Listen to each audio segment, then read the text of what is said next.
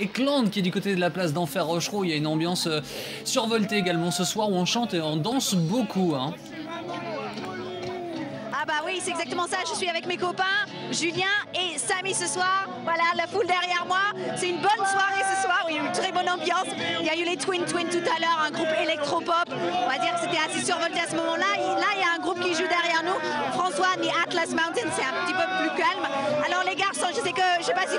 Bien. Comment vous vous trouvez l'ambiance ici ce soir on, a on a vraiment une super ambiance. En plus, on se croit à la limite dans un stade de foot, ça fait quand même plaisir. Non mais vraiment, en général, une super ambiance devant ou derrière avec des très bons groupes. Donc euh, vraiment un pur plaisir. Je ne sais pas si vous entendez quelque chose. Voilà, vous avez vu. Dès qu'il y a une caméra quelque part, bah, c'est la grande, grande pièce là. Est-ce que vous avez un souvenir, quelque chose qui vous a Parce qu'on se fête la 30e anniversaire de la fête de la musique aujourd'hui. Ah, moi j'en avais un en fait, c'était il y a deux ans. C'est que le matin de la fête de la musique, il y a l'équipe de France qui arrivait au Bourget. J'étais Ah ouais parti pour les huer avec quelques amis. Puis le soir, j'étais là avec des super groupes comme Curry Coco.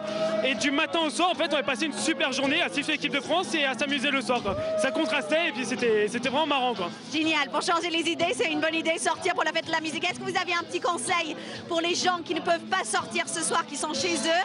Et ils veulent peut-être euh, fêter la musique à leur manière Bah, moi je leur conseillerais de mettre la musique à fond chez eux, de danser comme des fous, faire chier les voisins, se donner à fond. Ok, ça marche. Bah, merci beaucoup les garçons. Alors voilà, les concerts continuent sur la grande scène qui est juste derrière moi. Vous voyez, les garçons sont à donf. C'est génial. On se retrouve tout à l'heure. Moi, je vais me mettre à l'abri parce que là, je vais me faire accoster, je crois. Beaucoup Louise Eklund. Euh, Restez concentrés, on vous retrouve euh, tout à l'heure, hein, évidemment très bien entourés.